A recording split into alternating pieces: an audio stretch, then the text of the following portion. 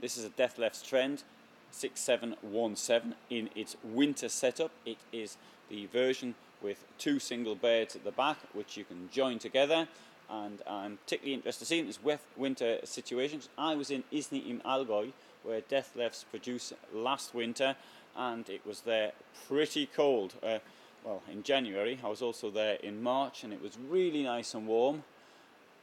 Could have stayed actually because it got pretty cold within three weeks in April. That was this year, 2017. Okay, this vehicle cost 60,502 euros. It's just under 7 meters long, 696. It's 290 centimeters high and it's got a width of 233. Large garage at the back, you can get a bike in there and gas goes over there. Let's come inside and I shall sit down in my favourite seat down here. Now, as you walk in, you could, I suppose, almost miss the bed which is up there, which is a good sign. If you miss it, it means you've got plenty of headroom. You've got headroom as you stand up from the driver's and the passenger seats. The table itself here is at its full length. It can't be extended, but it still is quite a large table, and uh, you can, I suppose, sit uh, quite at least two, maybe even three people can sit quite comfortably around it. I'm going to stand up now and just to give you an idea of the height. So I'm standing up under the bed and there's approximately, I would say at the top of my head, around 187 centimeters of clearance, which is uh, enough for most people, but maybe if you're over that height, then you might have to think of something else. Let's have a look in here. Got a very conveniently located uh, wardrobe, and your fuse box is down there.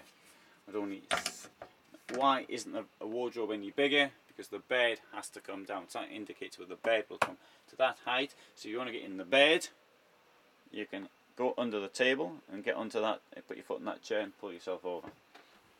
At the back, we've got a double bed. Sorry, two singles, which can be made into a double bed, I should say. As always, you pull this thing out, that, that, cushion comes down here, and that fills in there. On one side, you have got more hanging space and an ideal location for putting plastic bags. And on the other, you've got more storage and as you probably would have expected, you've got the boiler down there. Taps in many vehicles. Here we have a tower fridge. Yeah, as a tower fridge, I look up, look up at it as though it were a tower. Let's come round, have a look more at the bed. Got this, these uh, lockers at the back, two of them, with uh, the white uh, gloss finish, and space around the bed, books or other things up there. Would you prefer to have lockers or something like this? Obviously, this has got a bit of a ledge there, so you know you can leave leave your. Obviously, you can't have too many books. One thing I've been looking at in the time I've been here has been the question of uh, pressure, uh, how much pressure per square centimetre you can put on different types of wood, and will it bow or will it not bow, which is uh, very important and uh, interesting question for those actually making furniture for vans such as this. Right, let's have a look inside the toilet. So we've got a toilet and uh, we've got a wall here that comes out. Now this uh, setup has been used by other companies within the Erwin, Erwinheimer group, such as in Sunlight, such as in Etrusco. This comes out here, releases the false wall, the wall goes over there like that and there you've got your shower unit. Now personally I prefer a thing that came out of there. That way you can sort of uh, see yourself as you shave in the in the shower if you do that of course. I do. Uh, saves me having to shave afterwards um, maybe other people don't do it so much which is the reason why they've used that setup obviously also when the uh, false doors back you can sort of sit on there the water coming on top of you and get your feet clean more storage on the left hand side here. Quite deep as well for a shower storage. Mirrors on both sides, there and there.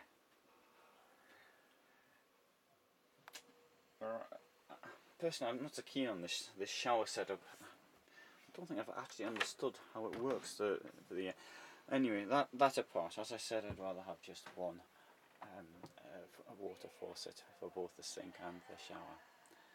Other than that, I think this is a pretty good van. I, I do uh, rather like it. Point out the bed, but often people ask me to show them how the bed works. And okay, um, bit reticent to do that often because it's a trade fair and I don't want you don't want to break anything. But anyway, I can give you the idea. In this case, it's not going to work anyway because I need I need the key, and you press this thing down there, and then the bed comes down. You press that one there, it goes up. But that's obviously off anyway, so uh, you won't see it. Uh, now, as it comes down, of course, it brings down the there you go, brings down the lockers with it and it comes that high. That means, of course, if the uh, the bed's down down there, that you can still actually get under. Should you want to get out during the night, I don't know what for, but uh, should you want to get out, you can do so still quite easily. Trend 617 and I've already shown you this but I'll show you again so, I don't if you can read that or not possibly not focused correctly. I can't tell from in here.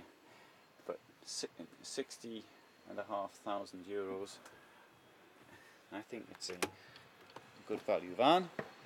You won't find them on the uh, uh, the second-hand market though, yet. I would imagine, and that's how the Mosquitiera comes across. Oh, and somebody else, actually, on, on the subject of things coming across, somebody did ask me to show how the blinds work. Well, if you've got a rail down here, and, you got, and you've got, and these things here, you've got these things here come out, press down there, and this comes out, and it joins together using magnets. And you've got blind, blinds there, and you've got blinds on the windows as well down here Right, I think I said it was on a Fiat, but didn't, I'm saying it again. 6 speed Euro 6 engine.